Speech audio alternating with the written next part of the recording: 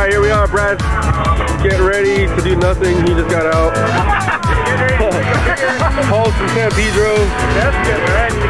But she is getting ready to go out right now for the first time. Oh my god, I'm gonna do shit. And we have the driver. Uh-huh. Safety first. Uh-huh.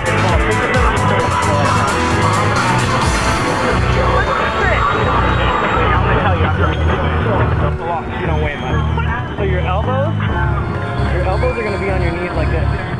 When I get up. You're just gonna, you're gonna literally just be like that. You're just see how my arms are, and the boat's gonna start.